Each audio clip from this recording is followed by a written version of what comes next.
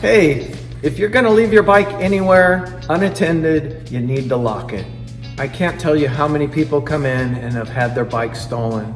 So I wanted to quickly go through, we have a whole line of bike locks from the Quickie anti-grab and run lock of a cable to basic U-locks, better heavy duty U-locks, or hardened steel chain locks.